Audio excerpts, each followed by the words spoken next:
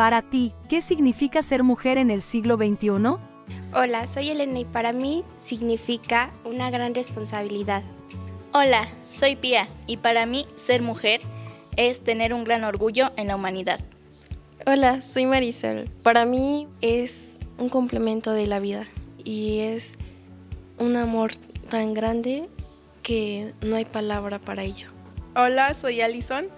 Para mí ser mujer es ser inteligente y con muchos conocimientos que no dependa de absolutamente nadie. Hola, soy Dana y para mí ser mujer es dejar de seguir ese estigma o esos estereotipos y también no el saber que el único límite eres tú, tampoco dejar que te den a ti un límite.